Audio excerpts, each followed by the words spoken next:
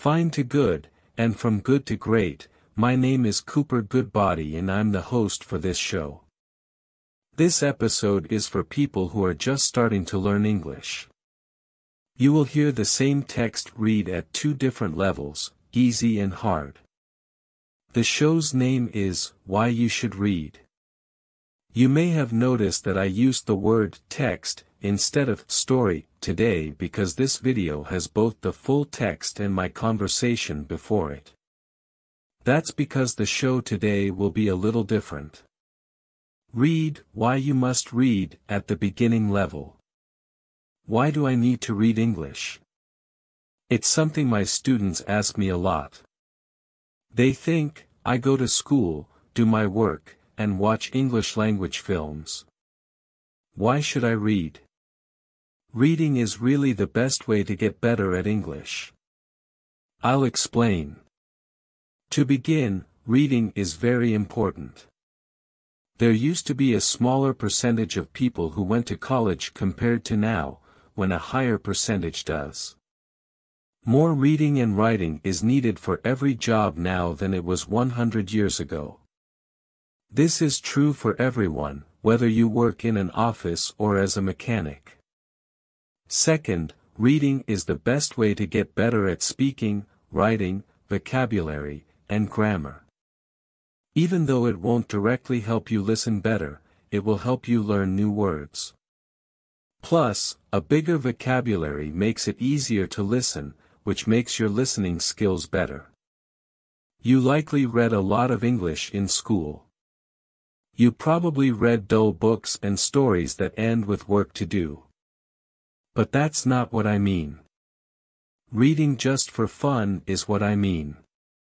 That means reading a book because you like it. You read because you want to, not because your teacher told you to. Thought, should read this book. But you're not reading. You choose to read. They didn't try anything new in American schools. These schools were for boys who had broken the law. For example, some of them had stolen things. Some boys got books for free. Like James Bond, they were fun books.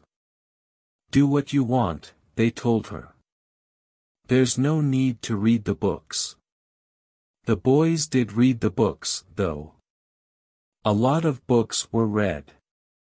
Some boys read every other day. The kids were given a test after two years. They liked school more and got better at reading and writing after getting the books. They didn't get better at reading and writing because they didn't have the books. Some of them got worse, in fact. Native speakers aren't the only ones who can say this. Besides that, they tested something on English students in the Fiji Islands. They taught in three different ways. The first way was to teach English normally. They had grammar classes, worked on grammar, and other things. Reading alone was the second way. In class, the kids read books. Reading together was the third way. The teacher had the kids read books. The two ways of reading were the best after a year. They did a lot better than the students who had English classes every day. In Singapore, they did the experiment again. The students who got to read alone did really well. They did the best on tests of grammar. While some students took grammar classes, they did worse on tests of grammar. When we go to regular classes, we try to remember words and grammar. Reading makes us learn things on its own. You might be thinking, it's too hard for me to read in English. I always need to look things up in the dictionary. It's not fun. I am not able to do it. I get it. I wrote this book because of that. The stories in this book are fun and easy, so I think you'll enjoy reading it. The stories at the beginning are short and simple.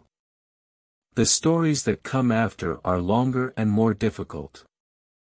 There will be a time when you say, wow, I did it. English Stories Podcast is the name of the podcast I make. One of the tales I created for this collection. But I improved the stories in this book. You can now choose to read the stories at a level that is easy, moderate, hard, or advanced. All of the stories are fairy tales. Not all fairy tales are well known. Some are very well known. I wrote one of them myself. Some of you might be wondering, fairy tales. Kids should read fairy tales. I need to learn business and science terms that will help me. It can't be fun. The words used in these stories will actually come in handy. McQuillan looked at words used in books as part of an experiment. A good number of the words were on lists of academic words. These are word lists that you need to know in order to go to college. Rolls and Rodgers also tried something new. They asked students if reading a million words of science fiction would help them learn important science words for college. Yes was the answer.